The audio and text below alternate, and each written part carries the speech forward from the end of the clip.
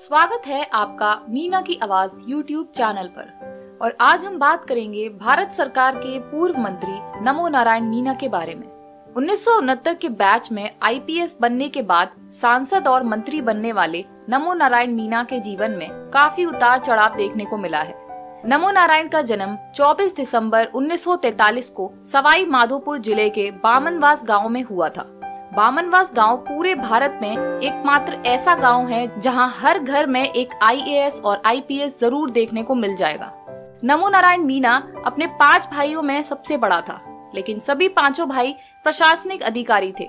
वर्तमान में देवली उनियारा टोंग से विधायक और राजस्थान के पूर्व डीजीपी हरीश मीना भी इसी नमो नारायण मीना के छोटे भाई हैं।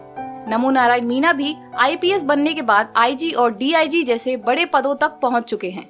प्रशासनिक सेवा से रिटायर्ड होने के बाद नमो नारायण मीना ने पहली बार 2004 में राजनीति में कदम रखा था।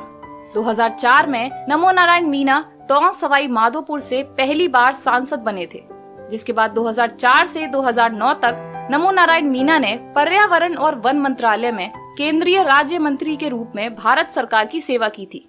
उसके बाद 2009 में नमो नारायण मीना ने गुर्जर समाज के सबसे बड़े नेता कर्नल किरोड़ी सिंह भैसला को हराकर टोंग सवाई माधोपुर से दोबारा सांसद बने, जिसके बाद 2009 से 2014 तक नमो नारायण ने भारत सरकार के वित्त मंत्रालय में केंद्रीय राज्य मंत्री के रूप में कार्य किया था। उसके बाद 2014 में नमो नारायण मीना को कांग्रेस ने दौसा लोकसभा से चुनाव लड़वाया था।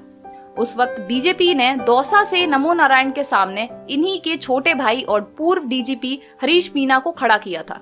राजनीति में ये भी संभव है। दो सगे भाई आमने सामने चुनाव लड़ रहे थे। यही नहीं, उस वक्त डॉक्टर किरोड़ी लाल मीना भी दौसा से निर्दलीय कैंडिडेट के रूप में चुनाव लड़ रहे थे। लेकिन 2014 में मोदी लहर की वजह से बीजेपी के हरीश मीना ने भी चुनाव जीत लिया था। उस वक्त डॉक्टर किरोड़ी लाल मीना दूसरे स्थान पर रहे थे, जबकि नमो नारायण तीसरे स्थान पर रहे थे। उसके बाद नमो नारायण मीना 2019 में वापस टोंक सवाई माधोपुर से कांग्रेस के टिकट पर चुनाव लड़े थे।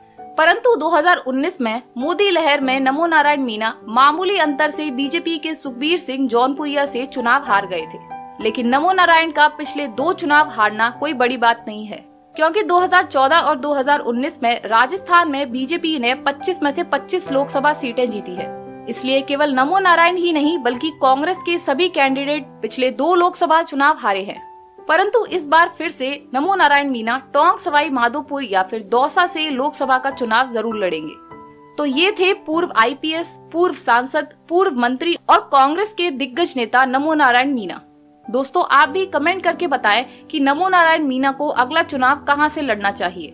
साथ ही वीडियो अच्छा लगा तो वीडियो को लाइक करें और हमारे चैनल मीना की आवाज़ को सब्सक्राइब करें। धन्यवाद।